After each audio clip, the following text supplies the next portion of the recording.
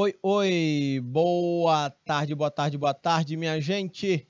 Boa tarde a todos os polos, a todos os mestres presenciais e alunos que se conectam conosco aqui através das ondas do canal Educação. Boa tarde. Minha gente, estamos em mais uma transmissão de aulas para o curso técnico em finanças. E estou diretamente do estúdio 7 com a Nina, minha diretora de imagens, a Sandra Mota, minha prof assistente, Vamos juntos aqui até as 5 horas e 30 minutos, beleza? A disciplina é Fundamentos das Finanças Públicas. Bacana, tudo bem? Polos de Joca Marques, uh, Landry Salles, Monte Alegre, Queimada Nova Parnaíba, oi, oi, oi. Ainda não vi vocês falando aqui, se manifestando pelo chat. Dúvidas, exemplos, observações, fiquem à vontade, fiquem muito à vontade para compartilhar aqui pelo chat, tá bom? Tanto do IPTV como do pelo YouTube. Neste dia 26 de setembro do ano de 2021. Pode ampliar o slide todo aí na tela, por favor, Nina? Muito bem, então vamos adiante. Aqui. Aqui essa imagem, ela mostra que quando o mercado é deixado livre, é, como é que ele se organiza? Ele se organiza. Eu tenho aqui uma imagem onde ela mostra os, uh, a indústria automobilística que é o conjunto de empresas que produzem e vendem carros no mundo. E nesse sentido, você vai ter poucas grandes empresas que dominam todo um mercado. Sacam? Então nós temos aqui a Volkswagen, a Fiat, a Ford, Chevrolet, a Toyota, a Mercedes, Lamborghini, a Ferrari. E ainda tem um detalhe interessante. Por exemplo, aqui a, a a, Ferrari, a, a, a Fiat, a Ferrari, a Jeep, são as que eu lembro, elas são do mesmo grupo. Ainda tem mais, mas elas são do mesmo grupo. Sacam? Aqui, ó, a Ford é americana, ela comprou a Troller, que era brasileira, ali do Ceará. Entendem? E assim a gente vai vendo. Nós temos um. Então, se o mercado é deixado livre, nós temos. A, gente tende a ter um mercado com poucas empresas dominando um mercado consumidor enorme. Ok? Prof. Aurissandra, Povo de Joca Marques, Monte Alegre, Parnaíba, Queimada Nova, Landri Salles, oi, oi, oi. Tudo bem, minha gente? Esse é um ponto. Então, o Keynes dizia que o Estado tem que intervir para evitar que essas, esse domínio de poucas empresas pudesse, de repente, gerar uma crise econômica, financeira e até social. Tá bom? Beleza? Vamos adiante. Bem, nós falamos do Keynes, não é? O Keynes dizia que, a, a, que o Estado teria que intervir na economia, os liberais dizem que não. E agora a gente vai ver aqui um pouco é, de uma aplicação, né? A gente vai pegar. A gente estava vendo a teoria, agora a gente vai ver como é que essa coisa funciona na prática. Vejam só. Você tem descentralização de poder, crise fiscal e governabilidade. Então vejam, minha gente, os gestores públicos, eles enfrentam constantemente novos e dinâmicos desafios. A realidade ela é muito é, é muito mutante, entendem?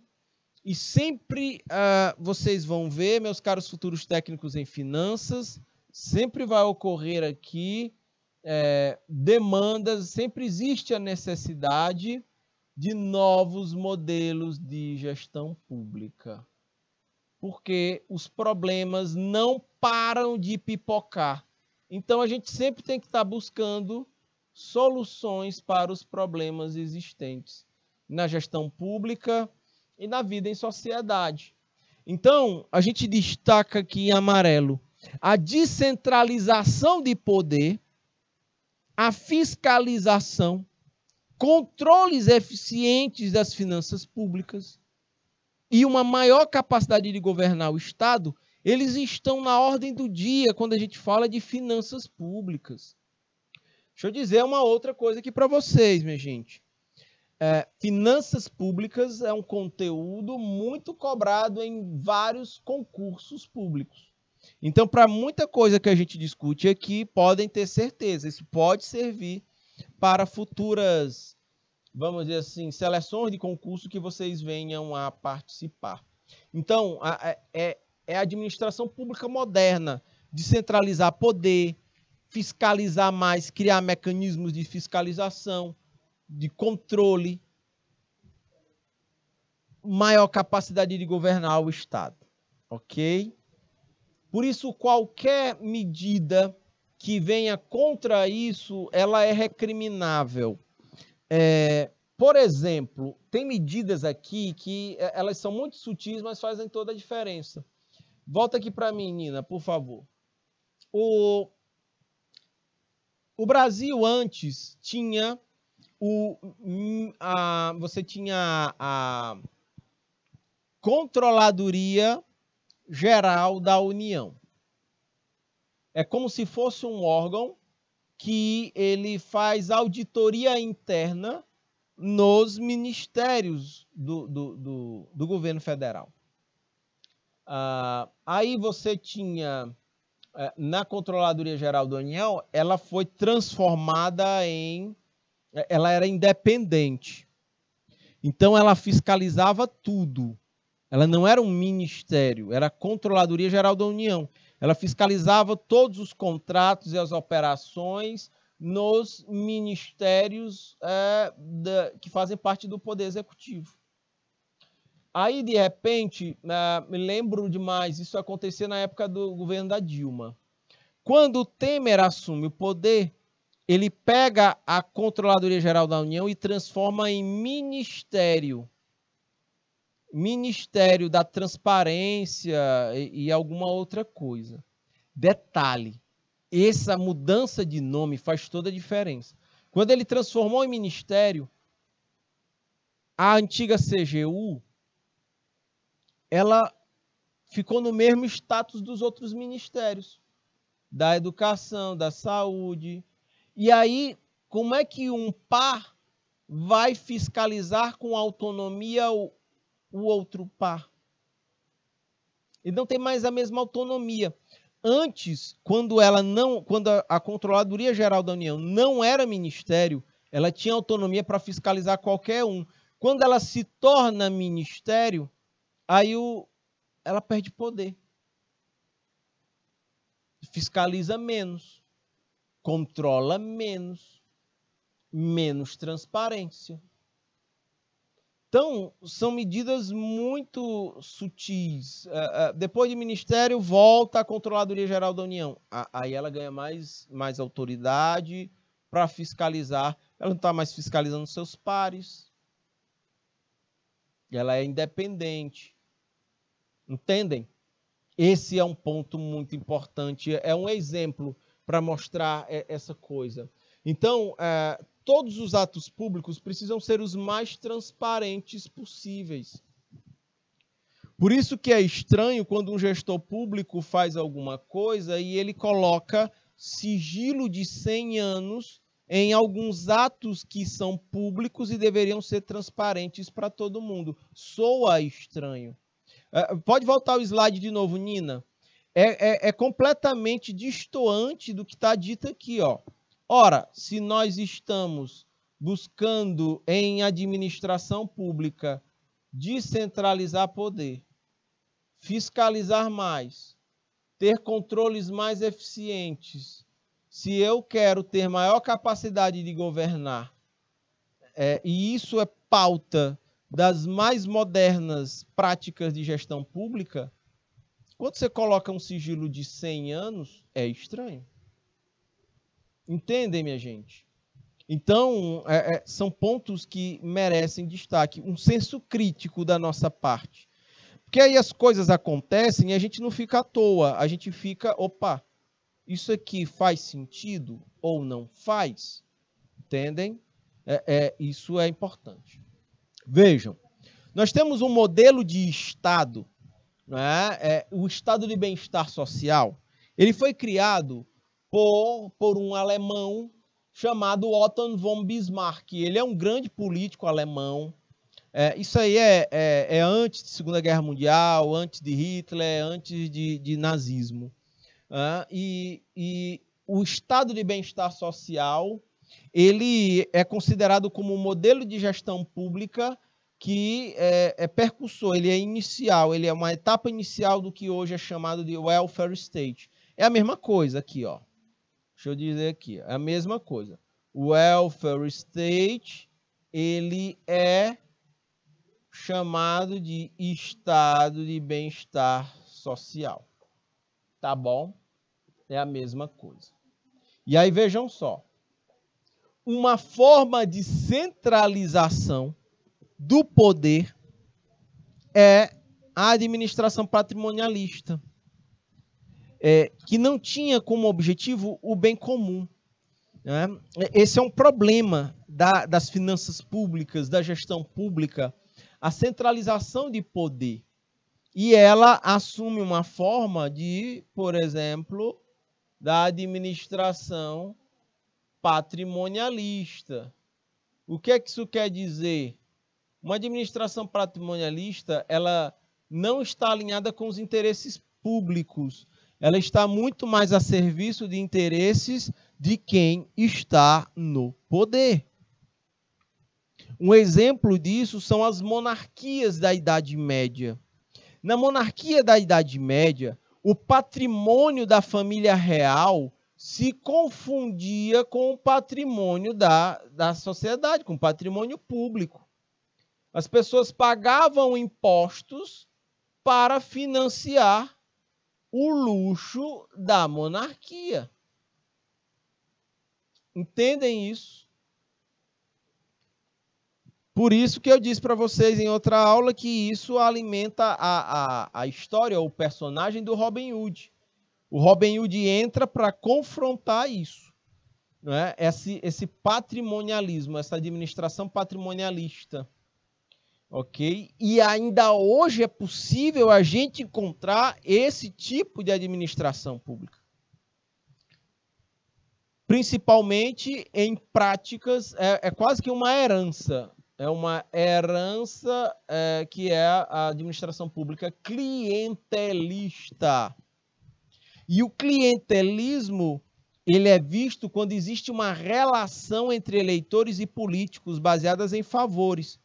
Quando o eleitor está dependente do político. Aí nós temos uma, um relacionamento clientelista essa relação se torna mais evidente quanto mais a sociedade for desigual. Né? Isso alimenta, inclusive, governos populistas. Ok, minha gente. Ou seja, é quando a gente vai ver aí né, governos populistas adotam medidas é, é, de administração pública que não tem como interesse o desenvolvimento, a geração de trabalho, de renda. Por quê? Porque isso emancipa as pessoas, isso torna as pessoas independentes. Pelo contrário, o que se faz é tentar aumentar o grau de dependência das pessoas em relação à administração pública e, a partir daí, troca de favores. No próximo slide, eu trouxe uma imagem que ela, ela, ela espelha essa relação clientelista. Nós temos aqui uma charge onde você tem o, o político e ele vai é, literalmente é, oferecer esmolas para a pessoa em condição de vulnerabilidade e a pessoa, em troca, ela vai é, dar o seu voto lá no momento da eleição. Entendem? Essa, essa seria a pegada essa a centralização de poder, ela pode gerar esse tipo de distorção, esse tipo de problema. Sacam, minha gente? Câmbio. Tudo bem? Beleza? E aí nós temos isso. Uh, por isso que a gente precisa, uh, o Amartya Sen, que é um economista ganhador do Prêmio Nobel de Economia, ele vai dizer que liberdade é ampliação das oportunidades econômicas e sociais para as pessoas. Quando a pessoa tem acesso a trabalho, a renda, ela fica mais independente é, e aí ela mais é, mais independente de relações políticas. Então a pessoa ela é mais livre nesse sentido. Né? Então é, é preciso que as modernas administrações públicas fujam né, dessa centralização de poder que pode se manifestar no clientelismo. Tá bom? Beleza? Vamos adiante. Toda administração pública, um outro ponto da, da, da centralização. Toda administração pública ela precisa de um corpo funcional, ela precisa de funcionários. O funcionalismo público atrelado a normas e procedimentos. Sem o que, sem o que não teria como, senão o Estado não teria como executar suas, suas tarefas ordinárias. O que são tarefas ordinárias para a administração pública? Deixa eu mudar aqui. O que são tarefas. É, só um minuto. O que são tarefas ordinárias para a administração pública? Eu vou puxar aqui a canetinha. Só um minuto. Aqui, vermelha. É, eu tenho custeio. O poder público, o governo federal, o, o estadual, o municipal precisa custear suas atividades. É pagar o aluguel de onde funcione, é pagar energia, uh, sal, salário do funcionalismo público, diárias, combustíveis de, de deslocamento, precisam pagar isso. Custeio e investimentos. E investimentos. Sacam? São atividades ordinárias da administração pública cotidianas ou de todo dia Uh, o detalhe, o problema é quando surge o predomínio desproporcional de um aparelho administrativo no seio da sociedade. É quando eu tenho mais estrutura administrativa, é, porque quando isso acontece, quando acontece isso aqui que eu vou circular de verde, aqui, ó. Opa, quando acontece isso aqui, eu vou ter, eu vou ter aqui é, problemas eu vou ter mais gastos com atividade meio.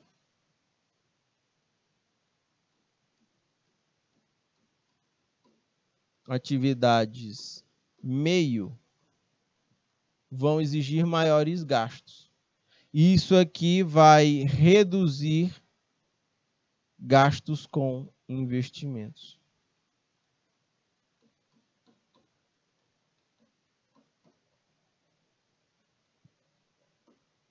Sacam? Atividade meio eu gasto muito e vai faltar pouca grana para fazer investimento.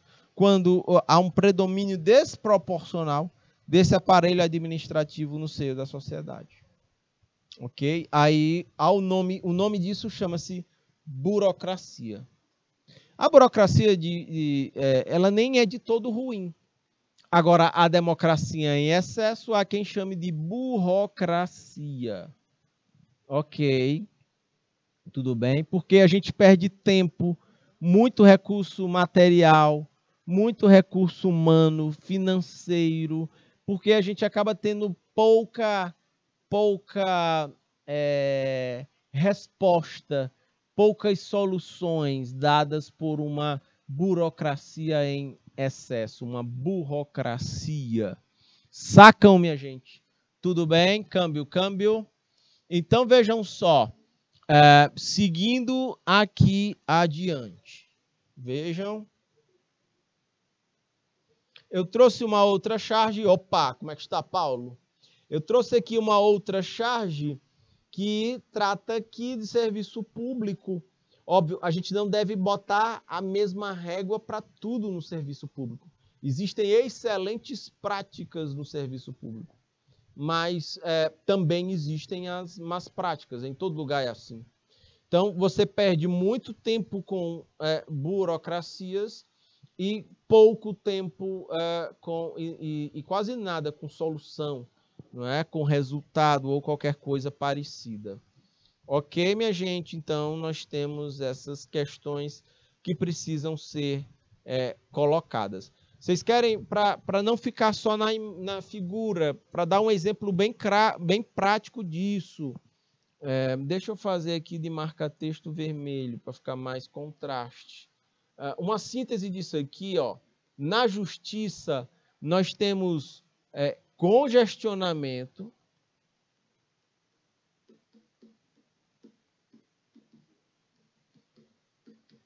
Nós temos congestionamento de processos jurídicos.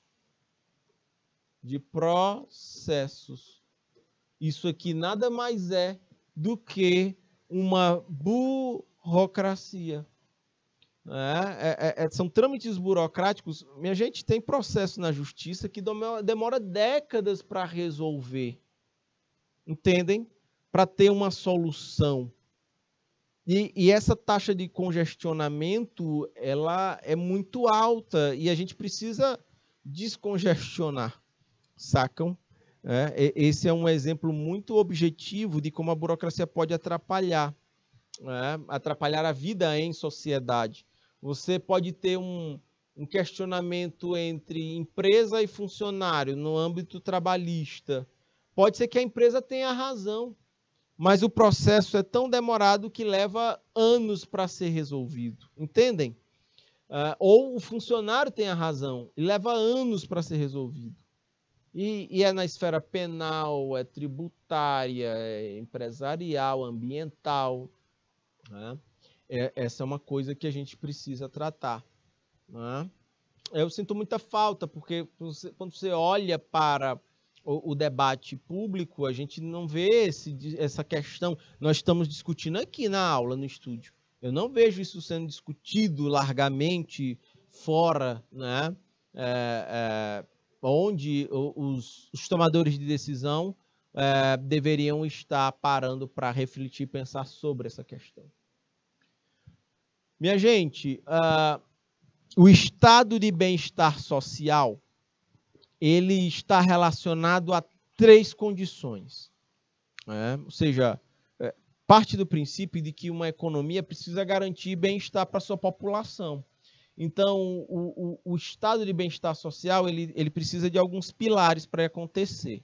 Um exemplo desse pilar é o, a existência de excedentes econômicos passíveis de serem realocados para atender necessidades sociais. Deixa eu traduzir isso aqui. A população tem que ter um, um nível de renda alto para ser taxado na forma de tributos e para que, arrecadados esses tributos, o poder público possa garantir políticas públicas para as pessoas mais vulneráveis. Em países mais desenvolvidos, isso já acontece, até porque também os níveis de desigualdade são menores, então dá, dá para atacar isso. Agora, no Brasil, por exemplo, nós temos muita desigualdade econômica. E a população tem é, é, uma renda baixa tem baixo patrimônio e ainda não taxa as altas, os altos patrimônios e as altas rendas. Então, nós estamos com problemas, sacam? Aí precisa crescer a economia, precisa gerar renda, precisa elevar a renda das pessoas para que a gente consiga, é, tributando, tirar de quem tem mais e ajudar quem tem menos. É, essa é uma pegada. Já que a gente vive numa sociedade extremamente desigual, precisamos enfrentar a desigualdade social. Não dá para a, a, a, gente, olhando para uma pessoa que tem um viés de pensamento liberal, ele olha e diz assim: não, tá errado. Todo mundo é igual. Então vamos para a meritocracia. Ganha quem produz, ganha quem gera. Quem não gera, bem, fica é, excluído do processo. Mas tem um detalhe: a meritocracia dá certo quando todo mundo parte do mesmo ponto quando a gente tem uma sociedade relativamente equilibrada, né, com todo mundo com condições similares.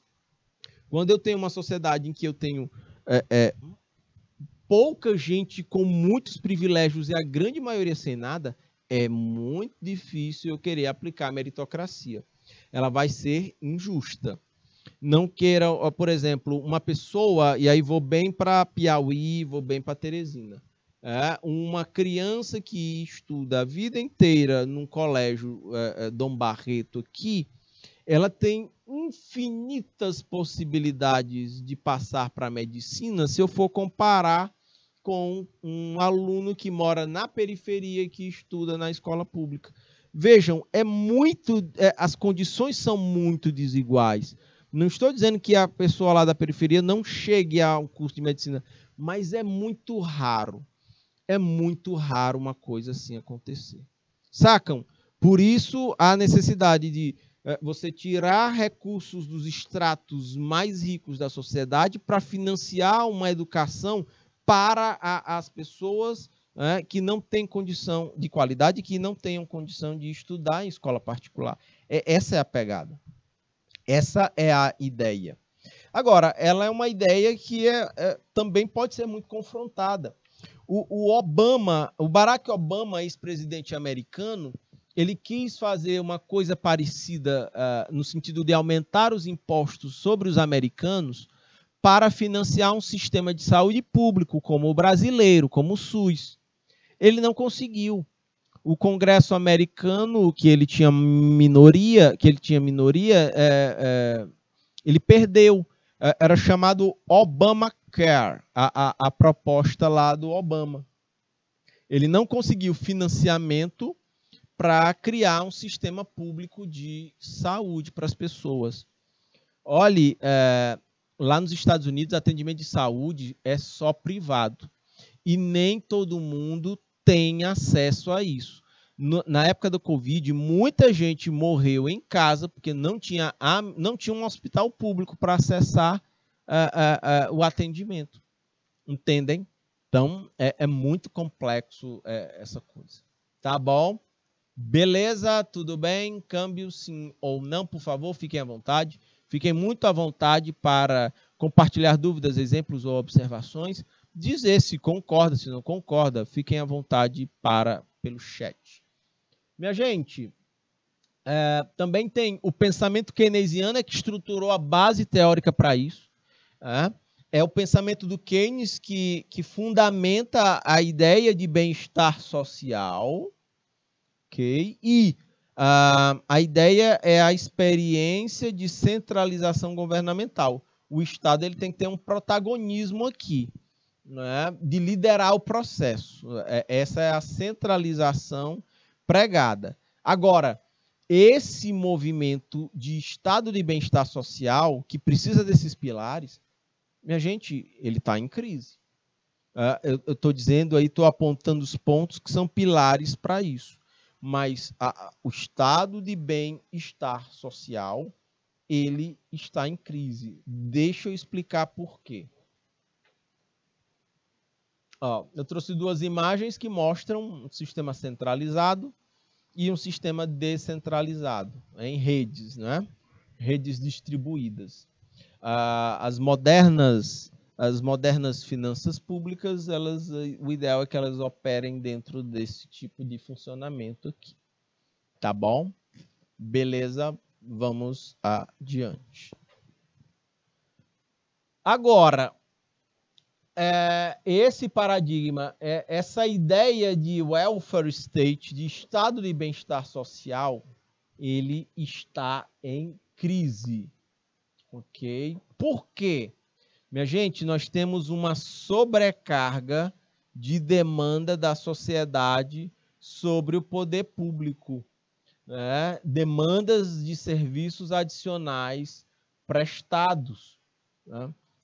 Existe muita exigência e existe pouco caixa para a administração pública dar conta dessas exigências. Elas, inclusive, forçam, é, forçaram o aumento do aparato administrativo via aumento de imposto. O Estado não ampliou sua capacidade de atender a necessidade das pessoas através de crescimento da renda e do crescimento econômico, mas sim através do imposto. E aí isso é ruim, acabou se tornando um ponto fraco né, na economia. Vejam, no que diz respeito à intervenção do Estado na economia, ressalta-se o crescimento da presença do Estado uh, nos últimos tempos, ele tem mostrado, uh, ou é a prova concreta, de que o público sempre prevaleceu sobre o privado. Né? O, eu vi uma frase muito bonita de um ex-ministro do Supremo Tribunal Federal, o nome dele é Aires Brito, em que ele dizia assim: uh, o, o, o mercado precisa ser motor da economia, mas ele não pode ser o mentor. O mentor cabe aí essa visão de Estado. De acordo com o, o, o Matias, Pere, Matias Pereira, né, ele vai dizer que a primazia né, do público sobre o privado, né, a importância do público sobre o privado, significa o comando do interesse coletivo, né, o poder do Estado, ou seja, a prevalência da política. Minha gente, é assim. Na vida em sociedade, o, o que é que regula o mercado? O que fazer o que produzir, como produzir, para quem produzir. Essas respostas, essas perguntas, elas em certa medida serão excludentes. Tem gente que não vai conseguir se inserir aí. E aí, essas pessoas serão excluídas do processo. Por isso que ele vai falar que é importante que o, o interesse coletivo esteja no final das contas, que ele seja o objetivo principal né? não a busca dos interesses individuais, mas da, da vida em sociedade, do bem-estar da sociedade.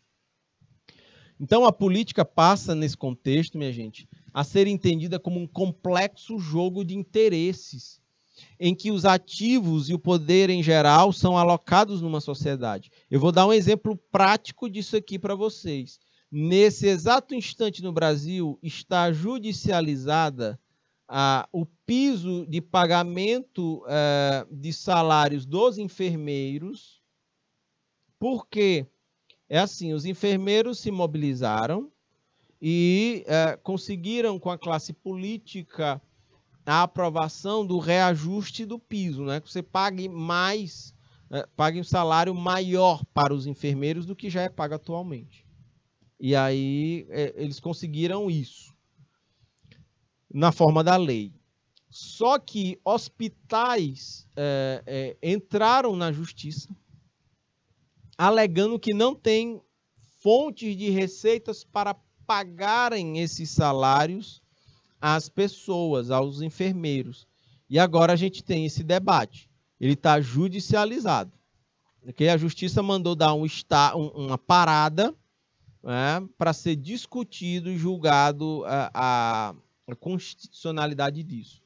Você tem que apontar um gasto e, e apontar a receita. O que os hospitais estão dizendo é que não tem receita para isso. Mas, uh, vocês lembram da aula passada? Eu falei para vocês que numa relação empregado-empregador, o empregado quer vender sua força de trabalho pelo valor mais alto possível. E o empregado, o empregado, né? O empregador quer comprar a, a capacidade de trabalho pelo valor mais baixo possível. Isso fica claro nesse contexto. Hospitais e enfermeiros estão tendo aí um, uma interação entre diferentes interesses aí, um jogo de interesses aí. É a história de uh, ambientalistas querem preservar o meio ambiente, uh, produtores rurais querem ampliar suas atividades produtivas e elas necessariamente geram impacto sobre o meio ambiente. E agora, como é que faz? Por isso que a política é a costura dos diferentes interesses. Nem tanto a um, nem tanto ao outro, nem tanto ao céu, não tanto ao inferno. É, é, é você costurar o meio de campo entre os interesses de ambientalistas e de é, é, produtores rurais.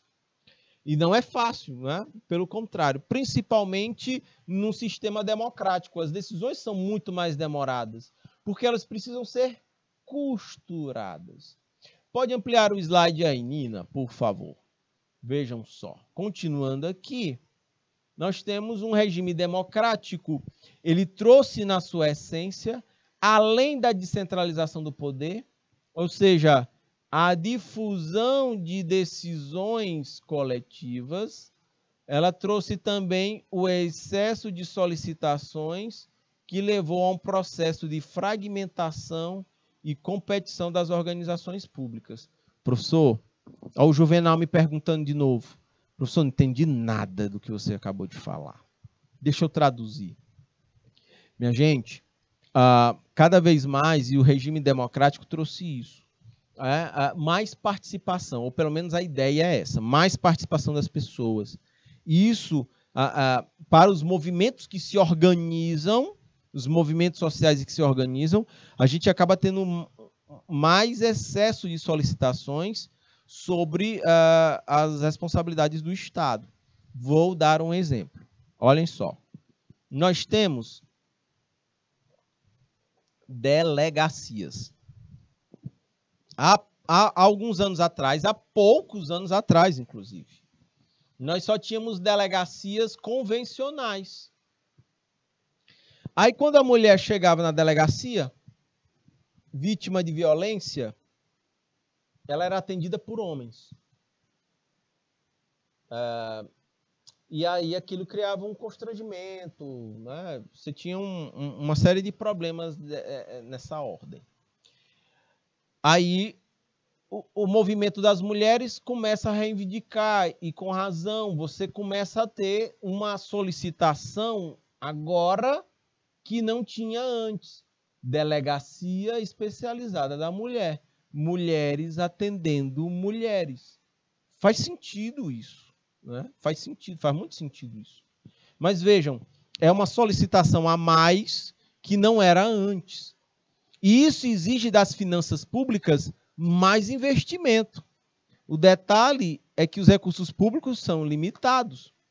Então, o ideal é que a gente tivesse, para o mesmo número de delegacias que existem, a gente tivesse delegacia de mulher também. E aí, qual é a capacidade pública de responder a essa nova demanda? E não só das mulheres. Tem também, a, a, agora, de acordo com o Estatuto do Idoso, também investimentos na estrutura de uma delegacia dos idosos. E o caro não é fazer a obra. O caro é manter essa estrutura ao longo do tempo. O caro não é construir um hospital. O caro é manter o hospital funcionando com todos os insumos, pagando energia, pagando água, pagando funcionário, pagando combustível, pagando o custeio da estrutura. Isso é que é caro. Entendem? Então a gente vai tendo cada vez mais necessidades. São recursos destinados, por exemplo, para financiar cota das, das pessoas negras. Não é? Por quê? Porque entende-se que numa sociedade desigual, os negros estão em condições muito mais é, é, desvantajosas e precisariam acessar o ensino público de, é, superior através de cotas raciais. Aí existem os questionamentos. Os liberais são contra esta visão. Né? Mas para quem pensa do ponto de vista de política pública, entende que é importante esse tipo de medida. Aí nós vamos ver aí, ó, é, debate de ideias, um debate muito interessante, inclusive, que não pode ser tratado de forma vulgar. A gente precisa tratar as coisas com profundidade. Aí eu me lembrei agora, eu lembrei agora do da Bahia. O ACM Neto, ele, eu não sei qual é o cargo que ele ocupa lá, perdão, não sei se é prefeito de Salvador, ele é governador, não, não é governador da Bahia. O governador é o Rui, Rui Costa. Ele é prefeito de Salvador. E o ACM Neto é, é ele sempre se declarou branco. Nessa eleição agora, a Bahia é o estado de maior proporção de, de população negra do Brasil. E o ACM Neto se, é, ele se classificou como pardo, ou seja, uma mistura de negro com branco. É, eu, por exemplo, sou pardo, né? Minha bocona aqui, é, é ela não nega. A mamãe brinca dizendo que é porque eu chorei demais quando era criança, mas é por causa do papai mesmo. Então vejam, uh, o ACM diz que é pardo. E ele fez uma entrevista e ele estava num bronzeado artificial e ele estava né, com a pele bronzeada, mais bronzeada que o normal. E, e, se declarou pardo. O pessoal né, criticou muito né, ele nas redes sociais por conta disso. Ele, é, é, querendo forçar uma barra. Mas vejam, é porque esse debate está muito quente no Brasil. Né? Ele está muito em voga, é, essa história. Então, a gente precisa discutir isso. Né? É, é, racismo, cotas, mas precisamos discutir isso com profundidade. Tá bom? E isso exige das finanças públicas não é? mais, exige mais. São novas demandas. Olhem, por exemplo, novas demandas que surgem a partir do público LGBTQIA. São mais demandas que surgem e aí, o poder público está é, é, é, é, capaz de atender a todas essas necessidades? Esses são pontos bem interessantes para a gente estar discutindo. Uh, percebam uh, a proliferação de conflitos dentro da sociedade resultou num aumento da estrutura administrativa do governo, dos gastos de governo, mais impostos, e aí gera uma crise fiscal. O que é a crise fiscal aqui que eu me refiro? Ela é uma crise na arrecadação e gastos, uma tendência de aumento de gastos é, e queda na arrecadação. Aí é problema fiscal. Entendem? A governabilidade está diretamente relacionada a essa possibilidade ou impossibilidade do governo de atender a essas demandas da sociedade, entendem? O, o, um presidente da República ele não pode eh, dizer que é capaz de fazer tudo que promete, porque ele precisa costurar governabilidade. Ele não governa sozinho. A caneta tem até cheia de tinta, mas uh, uh, muita coisa uh, o governo precisa eh, do poder legislativo, do, do judiciário, e a governabilidade está associada a isso a costura política para fazer as coisas. é, governar é a arte de governar. A governabilidade é a arte de governar. É o exercício do poder. E isso vem se dar na democracia através do diálogo, do debate. Uh, vamos adiante. Então vejam, ora, é objetivo de qualquer governo aumentar a produção, aumentar emprego e reduzir desemprego, aumentar a renda nacional e combater a inflação. Querer é poder? Definitivamente não. Querer não é poder. Porque a, a sociedade ela tem demandas políticas, está uh, faltando contrapartidas, os governos estão com dificuldades financeiras, Uh, você tem limites orçamentários, muitos impostos, muitas reivindicações da sociedade. Minha gente, é nesse balai de gato todo que entram as finanças públicas, meus caros futuros técnicos em finanças. Tá bom? Estou olhando para o relógio agora, são exatamente 17 horas e 30 minutos. Estou encerrando o nosso encontro por aqui, viu? Grande abraço, fiquem com Deus.